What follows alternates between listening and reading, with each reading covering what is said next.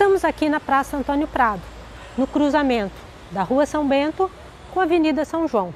E aqui nós vamos ver alguns edifícios. Aqui à minha direita nós temos o Martinelli. Aqui à minha esquerda, uma agência bancária. E do outro lado da praça nós vamos ver o Farol Santander e a Secretaria de Esporte, Lazer e Juventude.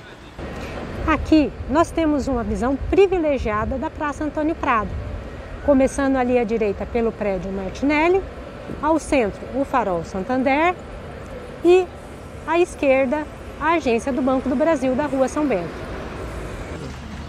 O edifício Martinelli foi inicialmente projetado por William Fillinger, que previa apenas 12 andares, mas o projeto foi alterado pelo proprietário, o comendador italiano Giuseppe Martinelli, que queria 30 andares.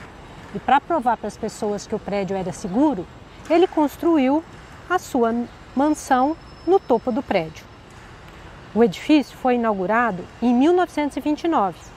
Tem um estilo eclético, com reentrances para melhor ventilação e iluminação. Só a base, que é de pedra, e foi revestida com granito Capão Bonito, um granito oriundo da cidade de Capão Bonito, interior do estado. O edifício Martinelli foi o edifício mais alto da cidade por sete anos. Aqui nós temos a inscrição do prédio. Prédio Martinelli, projeto e desenho do proprietário, José Martinelli, Ítalo Martinelli, ano Domini 1929. O edifício do Banco do Brasil é revestido pelo granito verde Ubatuba. A fachada principal é revestida com acabamento polido, mas nas demais observa-se o granito bruto. Olhem como o acabamento da pedra dá uma aparência diferente. À direita, nós temos o granito polido e à esquerda, sem tratamento. Fica bem diferente dependendo do seu acabamento. Não podemos deixar de mencionar o edifício Altino Arantes, um cartão postal da cidade de São Paulo. Ele era conhecido como prédio do Banespa, depois Santander e agora Farol Santander. Foi projetado por Plínio Botelho do Amaral e inaugurado em 1947, em estilo Art Deco. Foi inspirado no Empire State de Nova York. Tem formato bolo de noivo e vai se estreitando para o topo.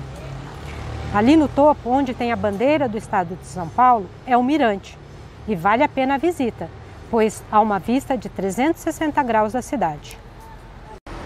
Aqui é a Secretaria de Esporte, Lazer e Juventude, mas que já foi o prédio do Banco de São Paulo. Foi construído por Álvaro Botelho em 1938, em estilo Art Deco.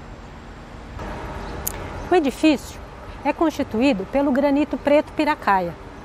Na realidade, ele não é um granito. O nome verdadeiro dele é monzonito e ele é oriundo da cidade de Piracaia, no interior do estado. Aqui nós temos a inscrição. Arquiteto Álvaro Botelho, construtores, Sociedade Construtora e de Imóveis. Este monumento aqui, ele é bem recente. Ele foi implantado em 2016 e é uma homenagem ao Zumbi dos Palmares. Nós temos o granito preto São Gabriel.